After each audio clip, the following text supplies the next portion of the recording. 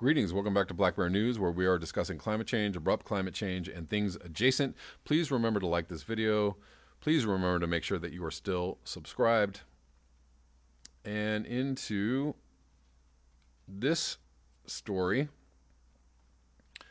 Uh, this is from theconversation.com. Uh, global emissions to hit 36.8 billion tons beating last year's record high. So that would make this year a record high. Um, again, we are increasing emissions. We are going in the opposite direction of where we want to go. Global emissions for 2019 are predicted to hit 36.8 billion tons of carbon dioxide, setting yet another all time record. This disturbing result means emissions have grown by 62% since international climate negotiations began in 1990 to address the problem. So 30 years 30 years of international climate negotiations have yielded a 62% increase in emissions. The figures are contained in the Global Carbon Project, which today released its 14th global carbon budget. Digging into the numbers, however, reveals a silver lining. While overall carbon emissions continue to rise, the rate of growth is about two thirds lower than in previous years.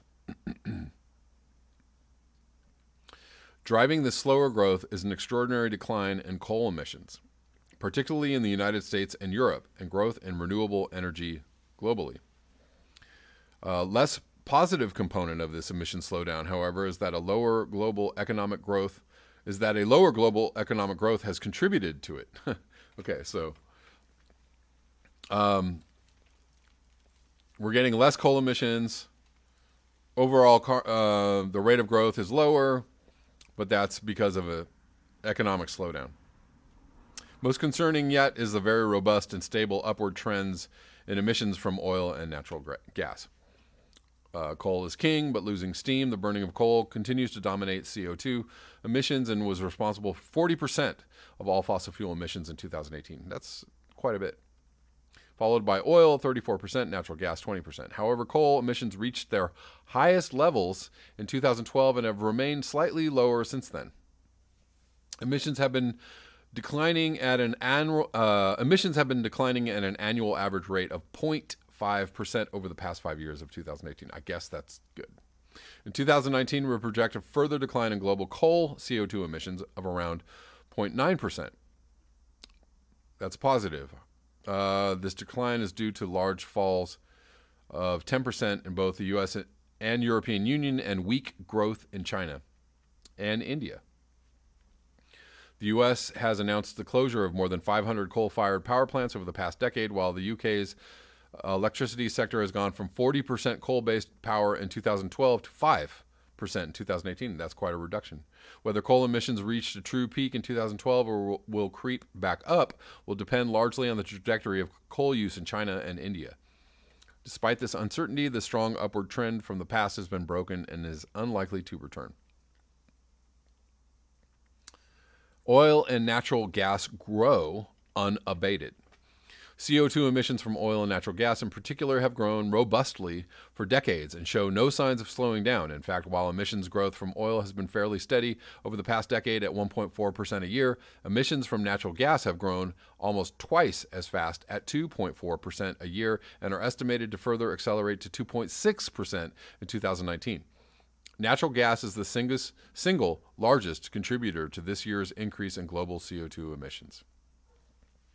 Huzzah. Oh, natural gas, the clean energy.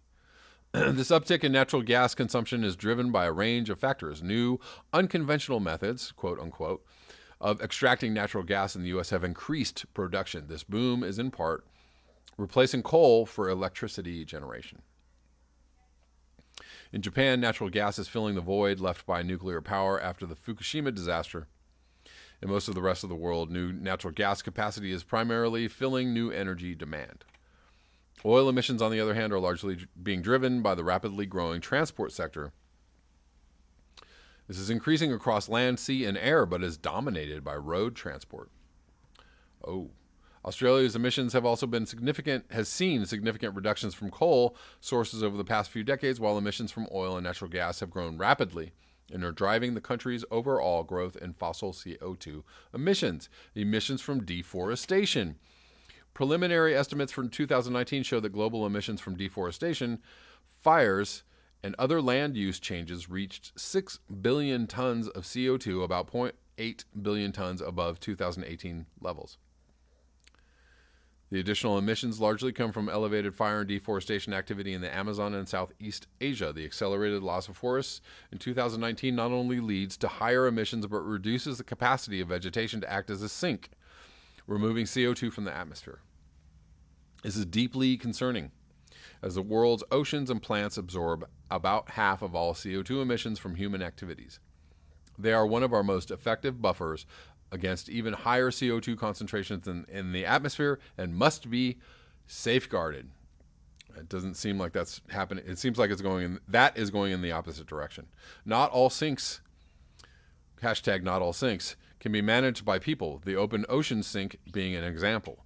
But land based sinks can be actively protected by preventing deforestation and degradation, and further enhanced by ecosystem restoration, restoration, excuse me, and reforestation. These are these are key right here. Ecosystem restoration and reforestation. Key. And preventing deforestation and degradation. Key. For every year in which global emissions grow, the goals of the Paris Agreement are one step further removed from being achievable. achievable. They drift off into the distance. We know many ways to decarbonize economies, that are good for people and environment. Some countries are showing it is possible. It is time for the rest of the world to join them. Moving on, uh, let's see. Let's just go through this article. Um, I don't know how long it is. I don't know how much time I'm going to spend on it. Maybe I don't need to spend too much time. Four ways the climate crisis could trigger a 2008 style economic crash. Hurricanes, fires, floods, and sudden decline in oil demand could all have serious consequences. Uh oh. What oh. This is from December 3rd, 2019. Any day now, a catastrophic event caused by climate change could det- detonate a financial bomb that incinerates powerful companies, sends fireballs through our financial system, blasts the U.S. economy, and devastates millions of Americans. This is an all hands on deck moment, warns a new paper from the left leaning Center for American Progress. It's time for regulators to take decisive steps to ensure that the financial system can withstand climate related shocks. How are you going to do that? Instead, uh, regulators are going to do that. I, I don't know. Instead, Wall Street's six largest banks are pumping money into fossil fuel investments and increase those risks. The over $700 billion those banks committed in financing to companies like ExxonMobil, Chevron, and BP from 2016 to 2018 is helping make possible Canadian tar sands expansion, drilling for Arctic oil and gas, fracking in West Texas, and other activities that drastically reduce our odds of being able to stabilize global temperature rise at the relatively stable threshold of 1.5 degrees Celsius. There is a degree to which some of these banks are looking around and thinking, okay, where, where are we going here and what are the risks? said Graham Steele, a director at Stanford Graduate School of Business. But in the meantime, they're going to keep trying to make as much money as they can. Steele, who co wrote the paper with CAP policy anal- uh, analyst Greg Gelzinis, explained that Wall Street's denial of climate dangers is setting up us up for a 2008 style financial explosion where risk spreads in a way that cannot be contained or isolated. Here are some of the ways that he can see this bomb being set off. Let's check them out. Number one, a devastating Florida hurricane bankrupts a major insurer. The world was shocked when Hurricane Andrew slammed into South Florida in 1992, causing $15.5 billion in damage and bankrupting at least 16 insurance companies. Uh, but that could be quaint compared to what the physical and financial risks of a disaster are today due to climate change. Modelers with the Center for Risk Studies at Cambridge's University, Cambridge University's Judge Business School estimated that a Category 4 hurricane that made landfall south of Miami, ripped into Tampa, and then made a landfall again near Pensacola could cause 1.35 trillion in damage, as Vice reported earlier this year. That level of financial destruction could easily bankrupt a major insurance company. Stress could be transmitted to banks and other non bank financial companies that serve as creditors or counterparties to the failing insurance company. The CAP paper reads In the Cambridge scenario, spiraling financial distress puts 2.35 trillion of global GDP at risk. This will be doubly catastrophic for millions of ordinary people in the disaster zone. You're going to have the irreparable damage that's caused by the climate and on top of that, you'll have these financial institutions that aren't going to be, be able to provide the basic services to keep businesses, households, and the rest of us going, Steele said. Two, insurers flee California wildfire zones and mortgages crater. Munich Re earlier this year drew an explicit connection between California's wildfires and climate change, something no major insurance company had done before. It warned that with wildfire activity up 400 400% since 1970 and disasters including the Camp Fire causing $24 billion in losses, insurance rates might become unaffordable to many people. At some point, insurers could withdraw completely from danger zones. This is just a hypothetical, but let's just say uh, they say we're no longer going to insure properties in Napa Valley. We're too worried about wildfires, Steele said. Suddenly, you're going to have a lot of difficulty writing new mortgages, and in that entire area, and that's going to dramatically reduce the value of exist, existing loans that you're making and the property values in that area. If this hap- if this happened in enough major housing markets, it could wipe out the value of millions of people's homes and potentially bankrupt local and state governments that rely on property taxes. That would also make assets on the balance sheets of the banks suddenly crater Steele said. One or two of these financial institutions collapsing could, in turn, instigate a cascading financial crisis similar in scope and scale to the hum- uh, hurricane scenario above. Three, massive declines in oil demand make investors panic. Uh oh, what if the Green New Deal actually gets implemented? In November, the International Energy Agency predicted that humankind's thirst for oil could plateau within a decade. This puts the typically conservative agency in line with analysts from companies like Bank of America and Fitch Ratings, who have also predicted a peak by 2030 due to the adoption of electric vehicles and other fossil fuel replacing technologies. If something were to suddenly speed up the plateau's arrival, like the election of Democratic president, a Democratic president and Congress in 2020 that immediately began moving forward with economy transforming Green New Deal, and economy transforming Green New Deal, it could make many oil and gas reserves worthless and cause investors to flee from companies that own them. Ooh, another more fallout from the Green New Deal. Um, but that's that's why a Green New Deal um, really has to be implemented as kind of like an overall economic overhaul. Um, you can't just start implementing these things, you know, kind of piecemeal. And as with Bernie Sanders saying that we should um, privatize, or not privatize, but um, take under public ownership the fossil fuel industry or the energy um, industry or the power industry. Um,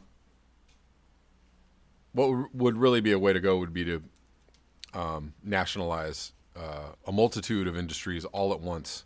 Um, and also make sure that people have uh, food and housing and clothing and shelter. Um, I think housing and shelter are the same thing. Uh, it could make many oil and gas reserves worthless and cause investors to flee from companies that own them. A price shock could ripple across the financial system as firms and investors offload assets at fire sale prices, the paper reads. It's hard to see things like the U.S. shale oil industry or the Canadian tar sands surviving the so called carbon bubble being burst. And while in one sense that would be great for fighting climate change, an abrupt fossil fuel sector crash could be terrible for many workers, which is why groups like the Climate Justice Alliance are pushing to ensure that a just transition, quote unquote, easing the impacts for affected communities is central to the Green New Deal. When bubbles burst, it's usually the folks on the bottom that get hurt, Steele said. Central to a Green New Deal would be making every, making sure everybody has food, health care, housing. Um, I would include the ability, you know, giving people the ability to grow their own food, helping people with uh, independence, off-grid independence, um, sustainability, etc. Four, the housing market goes literally and figuratively underwater. Despite more than 311,000 homes being at risk of chronic flooding in the next 30 years, lenders are still giving people mortgages in vulnerable areas. Up to $100 billion of coastal mortgages are issued every year if sea levels rise by six feet by 2100. As has been est- estimated, about $900 billion worth of U.S. homes homes would be literally and in turn financially underwater. The paper reads. This includes more than half of the housing stock for almost 300 cities. But a financial financial crash could come well before that, as Big Short investor David Burt explained to Vice this October. Could be triggered by triggered by a climate disaster that causes a wave of foreclosures in the city. This is what nearly happened to Houston in 2017 after Hurricane Harvey, or like the fossil fuel scenario above, it might begin with an exodus of investors from a housing market once they appreciate the da- dangers they're exposed to. It could be just a mass realization that all of this property is severely compromised. Alice Hill, a former Obama advisor who now works on climate change at the Roosevelt Institute, has warned. For Steele, the takeaway is obvious. Wall Street needs to stop inven- investing in the fossil fuel companies driving climate change and making these scenarios more likely to occur. You need government inter- intervention, he said. You need financial regulators to come in and say you can't keep financing fossil fuels. This is only creating risk for you and society because Wall Street will keep doing dangerous things until someone makes them stop. Uh, okay, so it's not regulators that are going to help this out. Um, sorry to say, it's going to be a massive transformation of the entire financial uh, system um, because it's going to crash. It's going to crash one way or the other. Uh, crashes if you don't do anything about it. It crashes if you do it intentionally. Uh, why not do it intentionally and that way, you know, manage the the fallout somewhat. Lastly, let's look at more COP25 news. Polluting companies are sponsoring COP25 talks in exchange for tax breaks. All right. Go COP25 handle that climate change business, boys. December 12th, 2019. Big polluters are to blame for slow progress in the annual UN climate negotiation, negotiations in Madrid, Spain, according to activists, with several companies sponsoring the talks in exchange for tax breaks. Sponsors of the talks, known as COP25, include the electric, electrical utilities company Iberdrola, which produced 24.6 million tons of carbon dioxide emissions in 2018, and Endesa, which through its operations produced 61.9 million tons of carbon dioxide equivalent, according to analysis. No, uh, nonetheless, representatives from major oil and gas companies have been invited to speak on panels taking place throughout the meeting. Everything in this hall smells bad. It smells of coal, it smells of oil, it smells of gas. This is because we have in these spaces the same transnational corporations that are polluting the world and leading us to extinction, and they are pushing their agendas, says Natalie uh, Rengifo, Al- Rengifo Alvarez of NGO Corporate Accountability, one of the groups that produced the analysis of the corporate sponsors of the conference. To attend the climate conference, delegates must be accredited by the UN's climate organization known as UNFCCC. But some activists have argued that instead of being approved and invited to uh, into the negotiations, uh, polluting corporations should be barred from the proceedings. Oh, what a thought! That kind of makes sense. It might be logical, even, given their financial interests in the continuing extraction of fossil fuels. Inside the talks, trade associations representing the interests of the fossil fuel industry and other big polluters stock the halls and push their members' agenda. Stock the halls with barrels of oil. The results of this corporate omnipresence is clear. The negotiations move at a snail's pace and more often than not reflect the interests of global corporations, not people and the planet, wrote campaigners against corporate influence on the website Common Dreams as the negotiations kicked off last week. polluting panels. On Tuesday, a Shell representative took part in a panel organized by the International Emissions Trading Associations, known, known as the IETA, a pro carbon market business lobby whose members include BP, Chevron, Shell, and TransCanada. David Hone, Shell's chief climate change advisor, it's an awesome job, right? I'm climate change advisor for Shell, took to the stage to advocate for carbon pricing and car- carbon capture and storage. Okay. Carbon pricing being the most ineffective and ridiculous idea for fighting climate change ever, because whatever. Uh, Pascoe Sabado, I don't even know why scientists keep on going, carbon, we have to have some carbon pricing. You guys are dinosaurs. Pascoe Sabato, Sabido of Campaign Group Corporate Europe Observatory called Hone's appearance a huge conflict of interest. CEO is concerned that's Corporate Europe Observatory, otherwise known as CEO, is concerned the industry is using the promise of carbon capture and storage technology as an excuse to avoid directly reducing emissions by promising to bury them instead of transi- transitioning away from fossil fuels altogether. Shell is a multi billion pound corporation and has a responsibility to its shareholders, and it needs to keep showing it has reserves on its books and that it keeps turning a profit, Sabido said. Nor was the Shell panel a one off event, according to Sabido. Shell has spoken at six events during this year's conference and sent 146 delegates to the UN climate talks over the past 20 years. Okay. Now we can see that these things are uh, not all they're cracked up to be. On Monday, the government of Australia host, hosted a joint reception alongside the Carbon Market Institute, whose members include BP, Shell, Conoco. The invitation only event illustrates to the extent to which energy companies have access to national governments in the UN policymaking process. This access quickly turns into influence. At the negotiations last year, Hone boasted that Shell had helped to write some of the text that appears in the Paris Agreement, including controversial language around carbon markets. Ignoring communities as well as offering access to the negotiations, activists argue that corporate sponsorship gives polluting companies an opportunity to unfairly clean up their images. Indeed, for many activists, particularly in the global south, ending fossil fuel extraction is not only about fighting climate change, but also about supporting human rights. here's an idea for COP26 maybe bar all fossil fuel companies. Maybe that should be a thing. Maybe activists, protesters should get out there months before this goes on and, and insist that there are no uh, fossil fuel representatives at these conferences. Indeed, for many activists, particularly in global south, ending fossil fuel extraction is not only about fighting climate change, but also about supporting human rights. Shell, for instance, has been accused of human rights abuses and environmental destruction in Nigeria. Time and again, corporations ignore communities and the lands that they feed from. They extract resources and use their profits to oil their way into negotiations like COP or COP and use their greenwashing to try and position themselves as acceptable. Um,